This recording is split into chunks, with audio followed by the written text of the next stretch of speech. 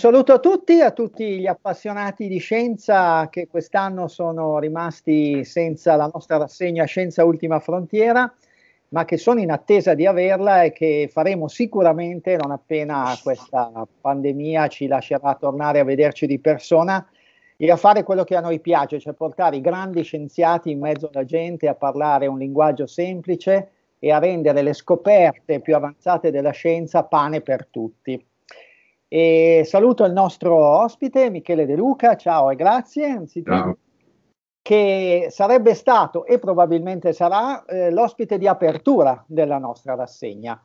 La rassegna, come vedete alle mie spalle, che si occupa di corpo e salute. Noi l'abbiamo decisa prima che succedesse tutta questa pandemia, ti ricordi, ti abbiamo invitato ancora a gennaio. Ecco, per presentarti è difficile bene dire chi sei, perché se io dico Michele De Luca è un medico, tutti mi capiscono, e, però mi chiedono, ma di cosa si occupa?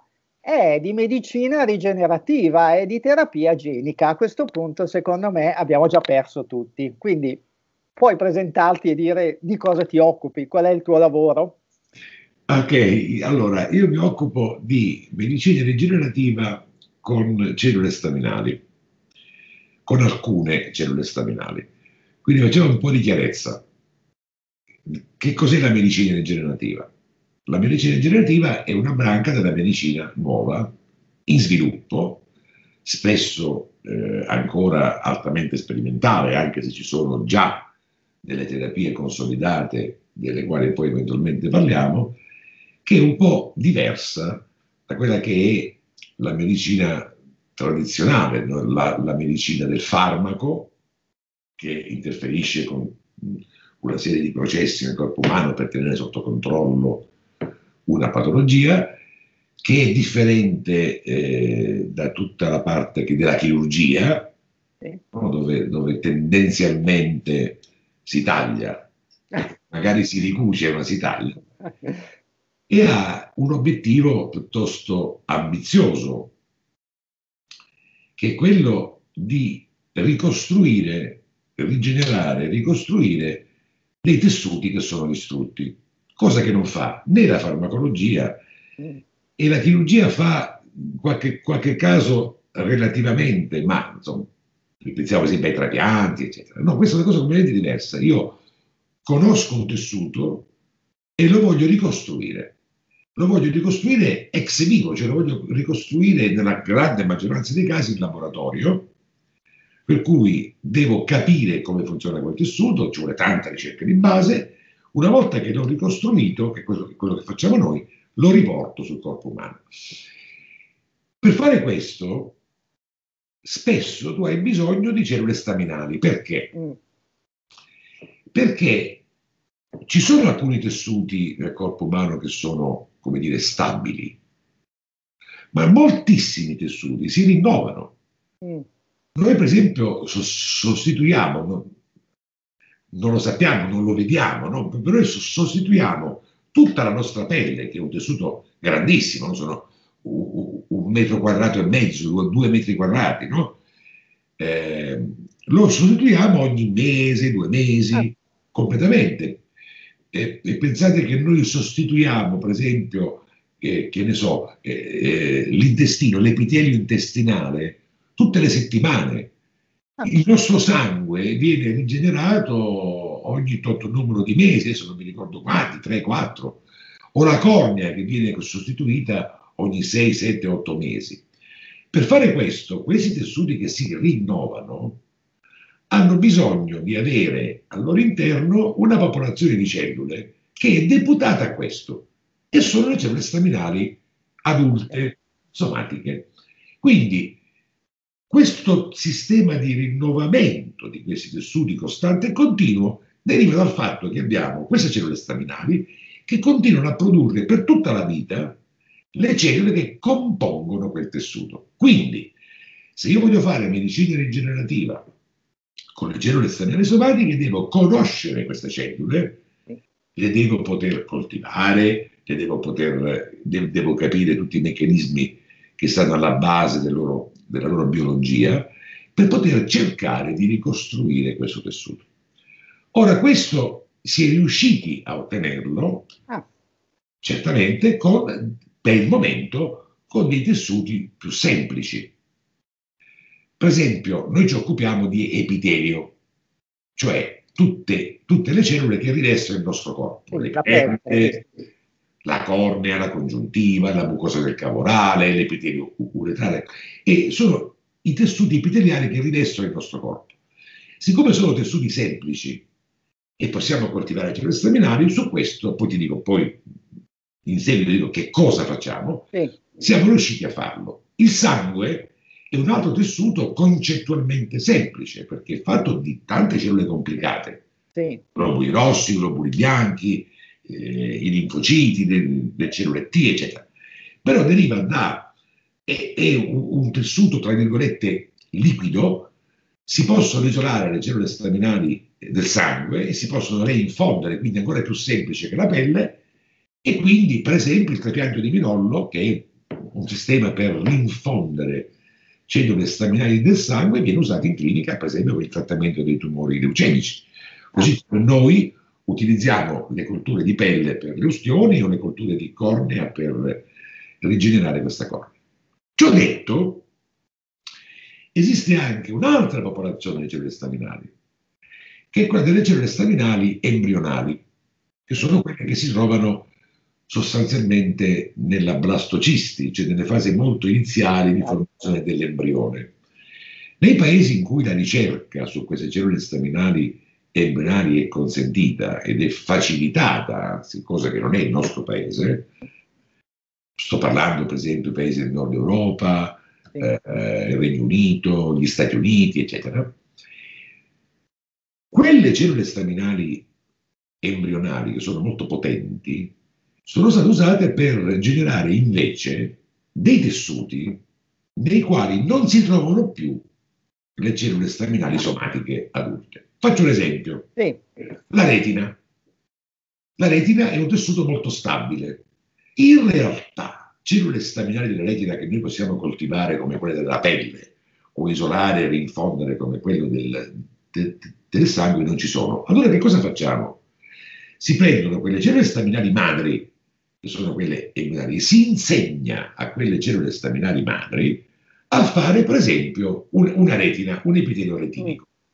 Questa cosa è già in clinica, è già in, è già in clinica, è già nelle sperimentazioni cliniche di fase 1, fase 2, eh, nel Regno Unito, negli Stati Uniti, ma anche in altri paesi, per cercare di dare una mano alle degenerazioni della macula retinica legate all'età, che è una patologia delle persone anziane che porta, sì, che porta a cecità. Eh. Un altro esempio è quello, per esempio, dei neuroni dopaminergici, che sono i neuroni deputati a fare dopamina, che sono in, in zone precise del cervello, e l'alterazione di questi neuroni provoca il Parkinson. Eh, sì. Il Parkinson è tenuto sotto controllo dalla farmacologia, no? però non sempre però non per, non per lungo termine, tende a peggiorare il Parkinson. Allora molti ricercatori eh, nel nord Europa, in Svezia, eh, negli Stati Uniti, in California, eh, sono riusciti a generare dei neuroni dopaminergici partendo dalle cellule staminali embrionali e sono già in fase di sperimentazione clinica di fase 1 o fase 2 per cercare di porre rimedio al Parkinson. Quindi è, un, è una, una, nuova ondata di, di nuove sperimentali terapie che ha come obiettivo quello di ricostruire i tessuti. E più si andrà avanti nel tempo, e più ci si, avvic- si andrà verso una maggiore complessità. È chiaro che è più semplice ricostruire una pelle o un sangue, o nell'ambito del cervello un gruppo di neuroni dopaminergici, ed è molto più difficile ricostruire un tessuto tridimensionale come può essere un cuore, un fegato, un polmone, anche perché ci sono diverse cellule staminali che entrano in funzione lì. Però adesso la, la ricerca va avanti, si cominciano già a rigenerare in laboratorio abbozzi di organo tridimensionale, che sono gli organoidi, e nel corso dei prossimi decenni, adesso non so dirti quali, quali e quando, però nel corso dei, dei, dei prossimi decenni, secondo me, la medicina rigenerativa prenderà il suo, il suo, il suo spazio. soprattutto per quelle patologie che non hanno una reale alternativa. Su questo, ma ne parliamo dopo se vuoi, si inseriscono anche le malattie rare. Perché? Ah. Perché se io posso ricostruire una pelle da una cellula staminale, perché la conosco e posso fare la pelle, la successiva idea che mi viene in mente è quella di, di modificarle geneticamente queste cellule. Sì. E si entra nel campo della terapia genica, cioè la ah, modificazione ah, okay. di quelle cellule. Poi spieghiamo se vuoi che cos'è. Fa la terapia genica e quindi posso addirittura fare tessuti geneticamente modificati che possono poi curare eventualmente patologie rare. E ci sono esempi di questo, sia per il sangue e sia per gli epiteli.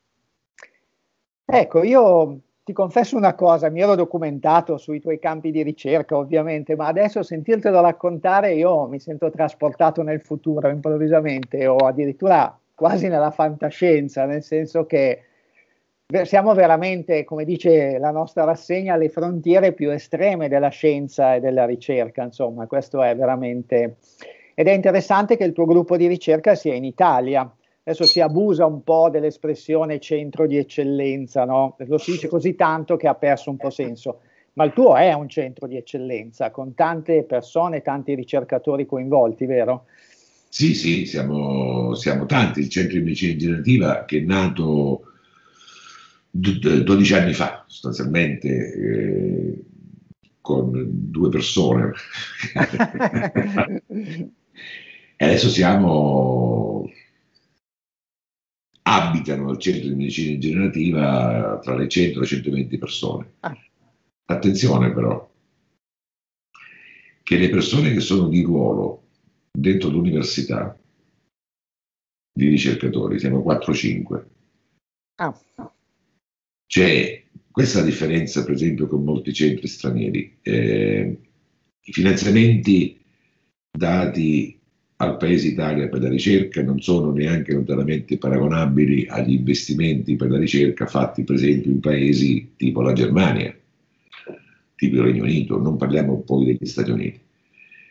Eh, le procedure anche di pianificazione dei ricercatori, eccetera, sono piuttosto complesse, piuttosto faraginose. Io però non, non, non, voglio, non, voglio, fare oggi un discorso diciamo, politico, non, mi interessa, però devo dire che non è assolutamente facile lavorare, soprattutto per i ricercatori giovani e anche per i ricercatori vecchi come me, non è che è stato facile, non c'è stata una, una facilità di sviluppo legata a tutta una serie di problemi eh, che riguardano la gestione della ricerca in, in Italia, eh, dai progetti eh, alle metodologie di concorsi, di assunzioni, ai fondi per assumere ricercatori, che andrebbe sostanzialmente completamente riformato, però ripeto, parliamo di scienza oggi, va. Certo, sì, sì, sì.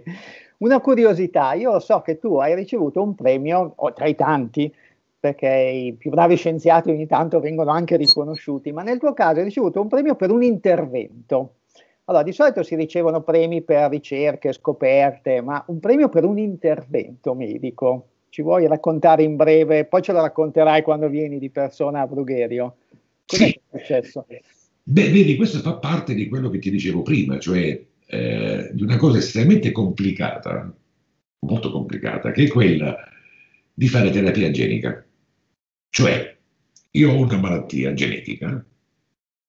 Che cosa vuol dire una malattia genetica? Soprattutto una malattia monogenica, si dice, in cui ho una malattia in cui un gene, perché poi sono malattie che sono, che non sono, che non sono gene, erano parecchi, andiamo su, su, su cose molto complicate.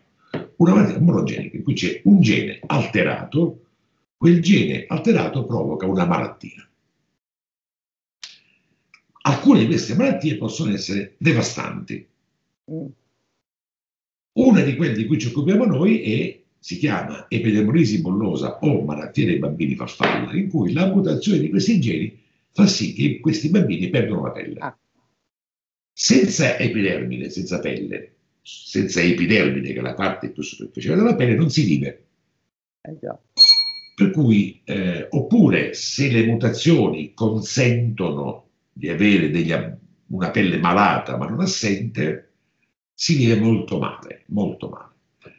Noi stiamo cercando, abbiamo già fatto sperimentazioni cliniche di fase 1, di fase 2, e le stiamo continuando a fare con estrema fatica, di perdita di tempo enorme, di soldi enormi, di energie enormi, ma stiamo continuando a farle, le sperimentazioni per modificare geneticamente le cellule staminali della pelle, fare quindi delle colture di epidermide geneticamente modificate che una volta che tu le metti sul corpo umano, sul corpo, guariscono queste ferite. In tutta questa storia di sperimentazione ci è capitato il caso di un bambino, che poi vi racconterò con le immagini. Ah, ecco, sì, sì, sì. Perché, è, che è una, una, storia bellissima perché è una storia non soltanto medica, non soltanto clinica, è una storia sociopolitica. Il bambino che ha questa forma grave di epidermolisi bollosa, questa malattia in cui perdi la pelle, in un paese come la Siria, quindi dentro una guerra civile, quindi già nei paesi molto avanzati è difficile trattare queste patologie. Immaginate un bambino che abbia questa patologia una, dentro una guerra civile, la famiglia che non sa cosa come fare, che, che fugge dalla guerra civile, arriva in Libano, ma in Libano non riescono a gestire questa patologia, inter, intervengono le, gli enti eh, le, le, eh, sia istituzionali sia le ONG eh, umanitarie. Adesso non mi ricordo bene chi è intervenuto, se lui, non, non mi ricordo quale struttura, quale, quale entità diciamo, di supporto a queste popolazioni intervenute, fatto sta che riescono a prendere questo bambino e a, a farlo emigrare fuori da quella zona geografica come rifugiato politico. Eh, fortunatamente per lui è atterrato in eh, Germania, perché se no, se in quel periodo forse sarebbe stato forse anche bloccato. Lasciamo perdere. Eh, lasciamo perdere.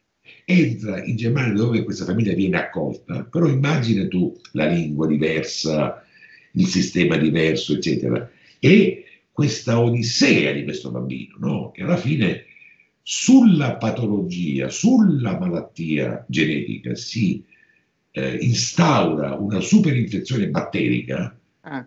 in tutta questa pelle aperta, quindi sono soprattutto due, due batteri che sono Pseudomonas aeruginosa, lo stafilococco aurea, questo video va in sepsi, perde completamente la pelle, non è più neanche le lesioni bollose che caratterizzano le pneumoresi bollose, ha proprio perso la pelle, per cui è dovuto essere è stato trasferito in un centro ustioni eh, sì. pediatrico nel nord della Germania a Bochum.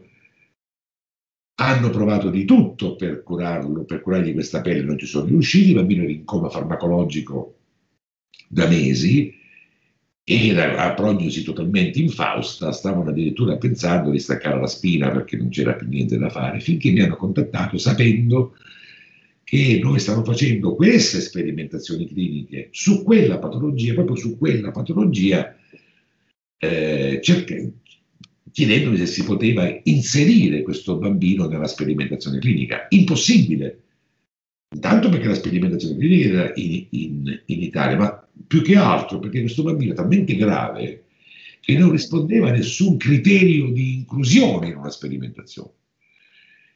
Però io sono un po' pazzo per cui noi sapevamo, infatti io mi ricordo ancora questa riunione fatta con i miei ragazzi qui, eh, dove dicevamo, ma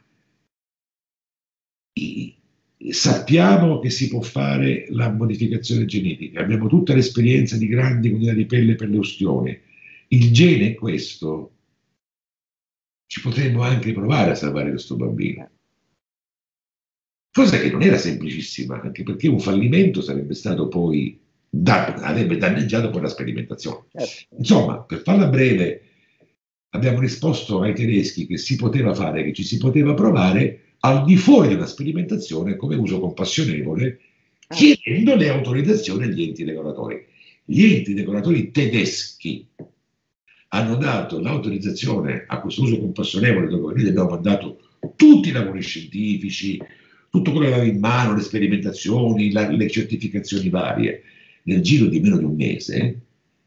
E quindi noi a un certo punto abbiamo cominciato questa, questa avventura, coltivando non dei pezzettini di pelle limitati come facevamo, come stiamo ancora facendo nelle sperimentazioni cliniche di fase 1 e 2 che stiamo continuando, ma producendo un metro quadrato, una quantità enorme di pelle, in cui abbiamo fatto parecchio fatica a controllare quella popolazione di cellule staminali che era importante. Quindi la sfida è stata quella anche di manipolare queste cellule in maniera tale da non fargli perdere la loro fisiologia e il loro numero di cellule staminali.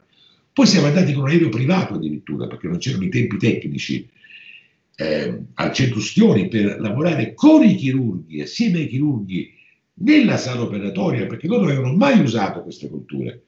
Quindi certo. non sapevano neanche come maneggiarle. Quindi siamo andati, vi ricordo, io, Graziella Pellegrini, il mio tecnico di laboratorio storico, Sergio Bondanza, che lavora con me da 30 anni, che è quello che fa le culture, siamo andati a, a, lì, lì, lì, con, lì, con, loro, abbiamo fatto due grandi interventi, eh, il primo eh, solo su, tut, su tutti e quattro gli arti e il secondo a distanza di un mese sulla parte posteriore. Poi quando vengo vi farò eh, vedere. No, certo, sì, sì, sì. Ragazzi, ha funzionato tutto da Dio. Adesso, sì. adesso questo bambino ha, ha, quasi, no, ha 5 anni di follow-up, la sua pelle si è completamente rigenerata. Non è che la malattia gli è passata, lui ha ancora l'epidemolisi bollosa, no? ce l'ha ancora, ma la pelle, quella parte di pelle che è l'80% del corpo che gli abbiamo trapiantato, è guarita. Ormai ha una pelle, lui riesce a fare attività sportiva, gioca a pallone, va, va in piscina, va sotto scontro, la sua pelle non fa più lesioni bollose, anche se lui continua ad avere la patologia. Le uniche zone in cui fa ancora bolle sono quel 20% che non ne abbiamo trapiantato perché all'epoca non era necessario, infatti stiamo pensando di fare anche quelle zone lì. E un'osservazione che voglio fare perché ragioniamoci sulle cose, no? Poi c'è tanta confusione in giro. Questo bambino se vogliamo estremizzare, è un bambino OGM. è un bambino che ha, un, che ha tutto ricoperto completamente di una cellula geneticamente modificata. Porta un gene dentro la sua cellula naturale che è stato corretto. Per cui quella cellula è, ma non è che se l'è mangiata e sì, sì, sì, sì, con il grano o con, o con... no, lui ce l'ha, ce l'ha costantemente addosso, ce l'ha per 5 ormai ce l'ha per 5 anni. Noi stiamo adesso continuando a fare con molta, ripeto, molta fatica, molti soldi, le sperimentazioni sia su questa forma di malattia giunzionale che sia su altre forme di epidemiolismo, ci vuole del tempo, per poter rendere questo risultato una terapia reale per i bambini farfalla che è il mio obiettivo finale che ho, se riesco a farlo, prima di dover purtroppo andare in pensione. Grazie, io questa storia ovviamente mi ha commosso e mi ha interessato tantissimo e penso che tutti quelli che ci ascoltano correranno quando tu verrai a raccontarla in lungo e in largo e anche farci vedere le varie fasi e di tutta la scienza, la ricerca e la passione umana che c'è necessaria. Guarda, guarda, che non è solo esempio, eh. l'Italia in questo campo è, è all'avanguardia del mondo. Ecco. C'è un'altra patologia che si chiama la malattia dei bambini in molla, sono quei bambini che non hanno difese immunitarie, mm. sono destinati alla morte, e sono curati in Italia, non da noi, da San Raffaele. Eh, dal gruppo di Alessandro Aiuti, che ha modificato geneticamente, esattamente come si è fatto con la pelle, si è modificata geneticamente la staminale del sangue, si mette il gene dentro, si rinforza la cellula staminale, questi bambini vanno a scuola. Meraviglioso, meraviglioso, sì. Adesso però ti devo fare una domanda che penso venga in mente, a me, no, a me viene in mente, ma mh, penso di interpretare un po' il sentire di molti la metto in termini anche un po' provocatori, scusami la semplificazione, ma se la medicina è così all'avanguardia, è così avanti, è quasi alla fantascienza, come mai un piccolo virus ha bloccato il mondo? Come mai tante volte si deve dire siamo impotenti, non sappiamo cosa fare? Cos'è giusto? È giusto uno, è giusto l'altro? No, ma sai, è sempre stato così con i virus. Se tu vai a vedere eh, il virus, proprio per il modo in cui è fatto, per il meccanismo con il quale agisce, per il fatto che molti hanno bisogno delle cellule del corpo umano per poter eh, loro stessi vivere, eccetera, no? E storicamente eh, qualche cosa cui, verso la quale una reale terapia non, non si è mica ancora trovata. Mm. Cioè, se tu vai a vedere una terapia come, come le persone intendono, no? eh, una terapia, che ne so, risolutiva, che ne so, ho un'infezione batterica, prendo un potente antibiotico, distruggo tutti i batteri, non c'è più i batteri. Oppure ho, eh, che ne so, ho la pressione alta, mi, mi, mi prendo questi farmaci, tengo sotto controllo. La... Con i virus è più difficile, però non è vero che non si è fatto niente. E il virus è stupido, l'essere umano no. L'essere umano è riuscito a, eh, a, a, evitare questa sua impotenza nei confronti della terapia, che poi è relativo, perché poi i farmaci antivirali ci sono, eh, sono anche farmaci antivirali.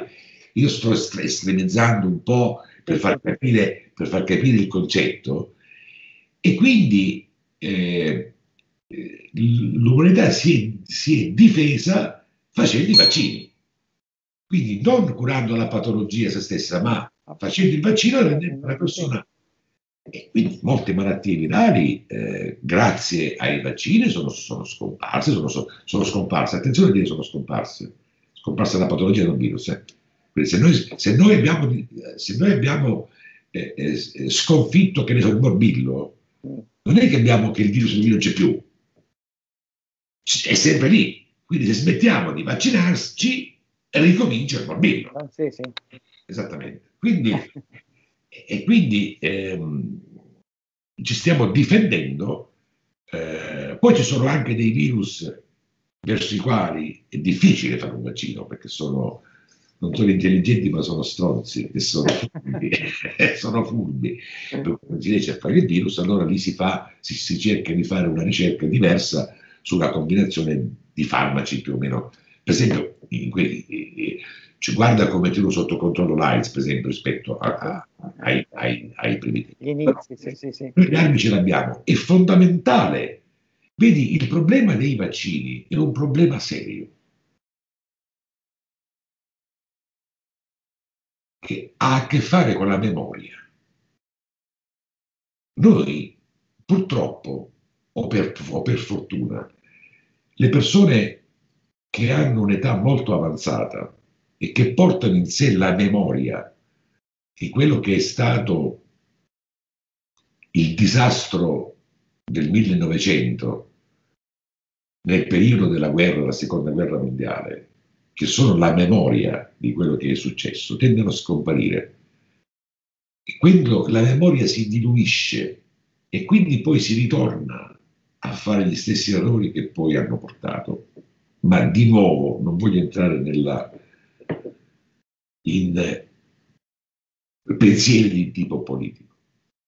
Ma se vai a vedere, capita la stessa cosa, noi ci siamo dimenticati perché non sappiamo più che cos'è. Se io chiedo a mia figlia di 20 anni che cos'è la poliomielite, ella non lo sa, ma non, non lo sa, non, non, ha neanche la percezione di quella che è la poliomielite. No, e, e che ne so, la, la, la, eh, il vaiolo, cioè ne perdiamo memoria e quindi non ci rendiamo conto di essere arrivati ad avere debellato sostanzialmente una patologia perché abbiamo sviluppato i vaccini. E non dobbiamo dimenticarcelo, soprattutto adesso che viene il vaccino per questa pandemia che ha messo in ginocchio il mondo, sia come morti che anche come economia. Non dobbiamo dimenticarcelo. E voglio fare chiarezza su questa cosa, cioè sento delle polemiche in questo momento in giro che ci sono, eccetera. La gente parla spesso, non lo sa quali sono le procedure che servono. Ecco, sì.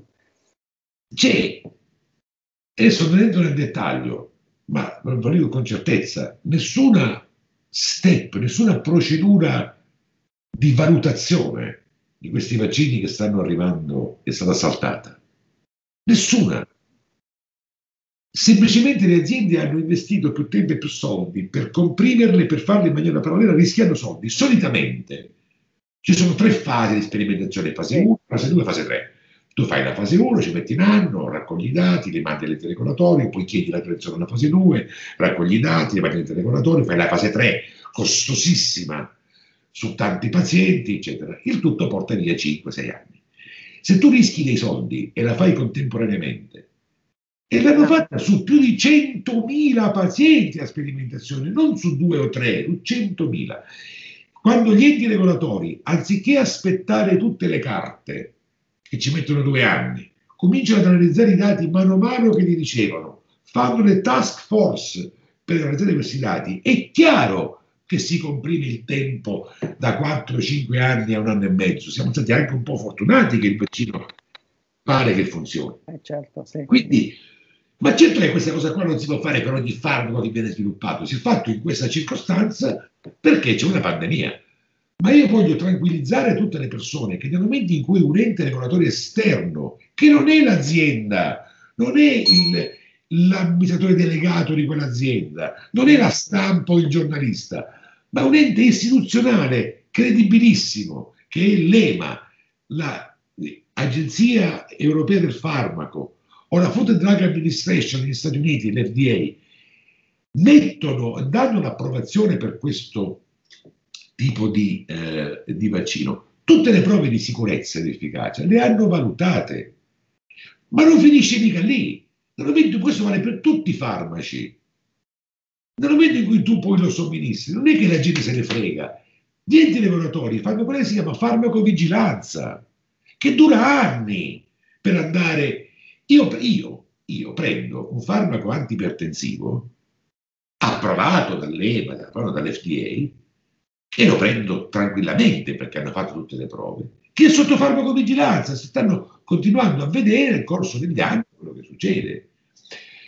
Quindi è qualcosa che viene seguito anche nel, nel tempo questo. Quindi sono dei me. Poi, senti, se noi allora vogliamo entrare in questo delirio eh, antiscientifico da una parte o complottistico dall'altra o negazionista dall'altra, per cui neghiamo tutto, è tutto un complotto, sono tutti corrotti, allora questo è un altro piano di discussione, leviamo fiducia alle istituzioni, non diamo, diciamo che l'EMA e l'FDA sono corrotti, che sono al soldo delle multinazionali, in, innestiamo un meccanismo del genere, miniamo alla base il sistema democratico. Lasciamo perdere. Ci sono delle istituzioni che dicono questo, io proprio per le polemiche che sto facendo, sono in, nel momento in cui l'AIFA, che poi non è manco l'AIFA, l'EMA europea, l'FDA, mi, aff- mi approvano il farmaco, io sono il primo a farlo. E l'altra cosa che la gente non sa è che non è vero che sono dei documenti segreti. Mm. Tutti i dati della sperimentazione clinica, sulla base dei quali si fanno le approvazioni, o i blocchi, l'EMA e l'FDA sono pubblici, bisogna andare a cercarli, ma sono pubblici. Quindi i dati sulla base dei quali l'EMA ha approvato il vaccino sono pubblici, si possono andare a vedere e uno scienziato li può andare a valutare. Sì, sì, sì. Esatto. Eh, hai fatto molta chiarezza perché c'è in giro veramente molta confusione, anche alimentata spesso purtroppo dai mezzi di informazione, quindi non è sempre facile, no. soprattutto con la paura in corso che abbiamo un po' tutti, insomma. Tu poi sei esperto di, come dire, di vigilanza perché essendo le tue terapie all'avanguardia immagino che siano sottoposte a una burocrazia di vigilanza molto stringente, giusto? Non solo la vigilanza di quelle che mi hanno approvato, ma io lo so bene che cosa mi chiede l'ente regolatorio su sicurezza ed efficacia e mi fa diventare matto. Eh. Cioè, la quantità di dati che devo produrre per sicurezza ed efficacia mi fa diventare matto. Quindi, e se non c'hanno quelli, non mi approvano. sì, sì, sì, sì. Ecco, come valuti questa situazione italiana in cui i medici, la medicina, sembra che per certi aspetti abbiano preso anche qualche batosta, anche qualche, come dire, colpo che ha tolto un po' di credibilità, mentre ascoltando te è tutto un altro discorso, insomma, cioè la, è come se il timone tornasse a puntare nella direzione giusta. I, ma uno dei motivi per cui eh, io mi sono tenuto bene alla larga da questo eh, nonostante sia una persona che faccia parecchia divulgazione, no? faccio parecchia divulgazione scientifica, sia nei licei, spesso nei giornali. Poi sai, io sono il co-presidente dell'associazione Luca Coscioni per la libertà di ricerca, per cui anche su tutto il discorso delle staminali, ma anche su altri ah, argomenti spesso intervengo. Perché, allora, diciamo che uno degli errori, non è il solo, ma uno degli errori che è stato fatto, dal mio punto di vista, in questi mesi, è stato quello di aver avuto parecchi eh, esperti che hanno invaso campi che non conoscevano. Questo nella, ehm, nella, nella consapevolezza della, eh, della popolazione non è che è ovvio. Cioè, se parla uno scienziato in televisione, una persona che non è una persona di scienza, esattamente, no? che può essere anche un ingegnere, può essere anche un avvocato, ma può essere anche eh, il panettiere, può essere anche chiunque. Non è che ha necessariamente la capacità di distinguere dove finisce la competenza di un virologo, dove comincia quella di un, di un epidemiologo, dove va quella di uno statistico e quella anche di un clinico. Per cui spesso, spesso, e questa è una tendenza che io vedo, ho visto parecchie volte nella mia attività, io sono un medico, no? vedo che spesso i clinici invadono campi scientifici di cui non sono molto a conoscenza. Che ti posso dire? Un bravissimo rianimatore, un bravissimo anestesista, un, un bravissimo, e eh, parlo di un bravissimo, una persona che ti tira fuori la persona da, dalla tomba, non necessariamente ne capisce in maniera approfondita, per esempio, dei meccanismi di risposta immunitaria al virus. E, e gli immunologi non necessariamente capiscono quali sono i trend eh, di epidemie che, invece molti scienziati che lavorano con i numeri capiscono. Questo ha creato dei problemi. Gli errori che noi abbiamo fatto eh, in estate derivano anche da questo, da questa commistione e da questo eccessivo numero di tecnici, eccessivo, che ha parlato troppo in televisione, troppo frequentemente, spesso dando delle informazioni contrastanti. Anche perché non si rendono conto che io posso capire cosa c'è nel cervello di chi comunica, ma devi capire che, che cosa recepisce la persona di quello che tu dici. Eh, esatto. Questa è la cosa più difficile. E proprio questo vago senso di liberazione che noi abbiamo avuto eh, a luglio-agosto, alcune con delle affermazioni anche improvvide, ha fatto ripartire eh, l'infezione, mentre, mentre c'era tutta un'altra categoria di scienziati che magari non è capace a fare rianimazione, che diceva attenzione che non è così, perché ci, ci sono tutta una serie di indicazioni che ci dicono questo. Molti paesi questo non lo hanno fatto. Io, uno dei paesi che si è comportato meglio in tutta questa storia, secondo me, è, è, è stata, per esempio, la Germania. Mm. Ha avuto una istituzione, il Koch Institute, che ha preso in mano la situazione e ha fatto questo, ma anche come gli Stati Uniti, lascia perdere che cosa è successo poi perché però negli Stati Uniti eh, l'NIH, Fauci ha preso in mano questa situazione qua, era lui che, eccetera, poi che Trump non lo sia stato a sentire, questo è un altro discorso, però noi abbiamo avuto forse, è stato uno dei motivi, diciamo, faccio, eh, sì, sì. tiro su una motivazione di autocritica verso la mia categoria di cittadini, poi ci sono stati degli altri, ovviamente, che ha contribuito a questa, a questa confusione.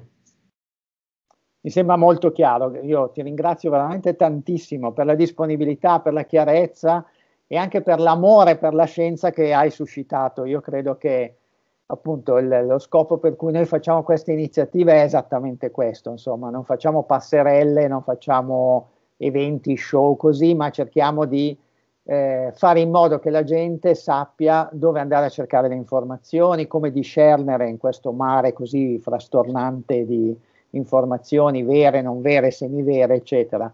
E avere dei fari che ci danno queste indicazioni per noi è molto importante. Quindi ti ringrazio tantissimo e hai già guardato sulla cartina dove è Brugherio perché devi venire, eh? quindi vi raccomando. E... Io ero già pronto. Eh. eh lo so, eri già pronto. E...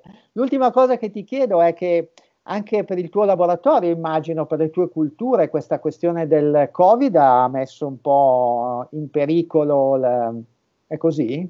Assolutamente, assolutamente, perché noi abbiamo il doppio problema abbiamo il problema di mantenere il Covid fuori dal centro.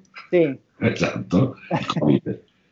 Il COVID, cioè, anche lì stiamo accorciando i termini, Covid è la patologia. È la malattia, il sì. Virus, il virus fuori dal... Sì, scusami, è la, è la, è la malattia. Eh, il virus fuori dal centro di medicina generativa, ma abbiamo anche il problema, problema l'abbiamo risolto ovviamente, che noi facciamo le colture per i pazienti. Eh. Quindi, da un lato abbiamo messo su un sistema di controllo di ingresso, di tracciamento interno, per cui siamo riusciti fino a questo momento a fare in modo di beccarlo prima che entrasse il virus dentro il, centro, eh, dentro il centro di medicina generativa, che siamo riusciti a non chiudere mai eh, e non, a, non, a interferire troppo con le nostre attività. E dall'altro abbiamo su un sistema di controllo proprio sulla presenza o assenza eh, eventualmente del coronavirus in tutte le culture che facciamo anche per eh, i pazienti. Questo non ce l'hanno neanche, non è che ci hanno chiesto gli enti regolatori, l'abbiamo fatto noi di scrupolo, per cui sappiamo che tutto quello che noi facciamo per i pazienti è, tra virgolette, free, non tra virgolette, nessuna virgoletta è free. Certificato. Esatto, dal fatto di essere libero. Eh, da qualsiasi contaminazione. Quindi sì, ed è stato questo un impegno molto forte, sia sì, sì, sì. Eh, poi, poi, con un paio di persone che, che devono stare appresso a questo monitoraggio, a questo, questo, a questo tracciamento costante anche del personale che deve entrare e uscire dal centro di medicina Certamente. Michele Luca, grazie mille, grazie di cuore. Brugherio ti aspetta a braccia aperte. Grazie, grazie a voi. Non so quando sarà, ma quando sarà verremo ad ascoltarti e grazie ancora. Grazie, grazie.